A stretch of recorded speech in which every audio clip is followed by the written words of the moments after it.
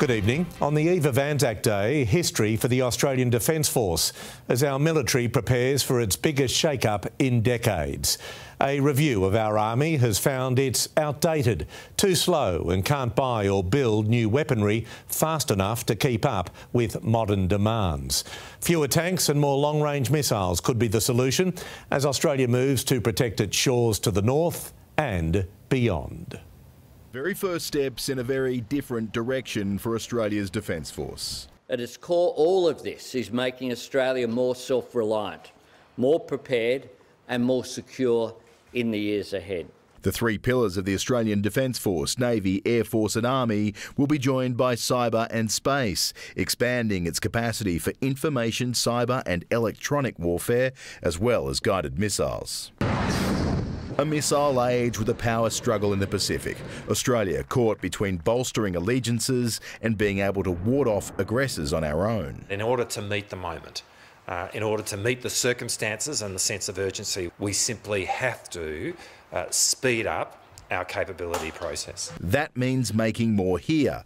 Ships to be built in Adelaide and Perth, guided missiles to be manufactured, and a huge new workforce required. The urgency of global threats meaning getting it right now is prioritised over always getting it right. We're vulnerable if we're just at the end of global supply chains. There is also no sense of urgency today. The mission is clear. We must respond to our strategic circumstances, yet we haven't seen a strategy, there is no new money and we're cannibalising capability. Where is the money coming from? Because if you're going to do it out of that, are you going to take it out of the land forces?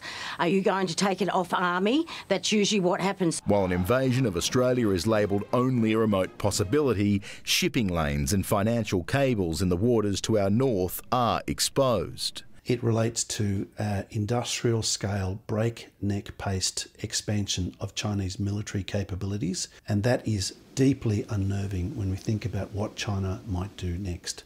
Integral to protecting this is the network of bases, ports, and barracks stretching from the Cocos Islands through to RAAF bases in Learmonth, Derby, Darwin, Katherine, Weipa, and Townsville. Our northern bases are a huge asset and a huge opportunity. That's, that's the place from which we can project. Climate change is identified as a national security threat.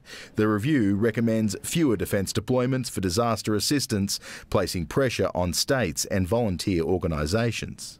There'll now be a defence strategy review every two years with the expectation of a drastic increase in defence spending.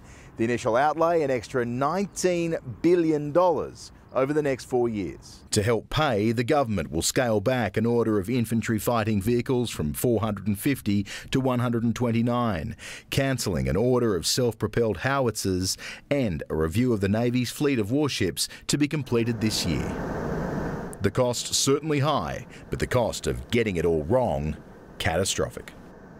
Our political editor, Charles Croucher, is live from Parliament House, Canberra. Charles, good evening. Recruitment is the other big challenge for the ADF right now. Evening, Pete. It may be the biggest challenge. Already there's a plan for an extra 18,000 people in uniform, but there's the tens of thousands needed for maintenance, manufacturing, and civil industries. And unlike picking fruit or nursing, these workers can't be found overseas. They have to be citizens, they have to be vetted, and they have to be trained.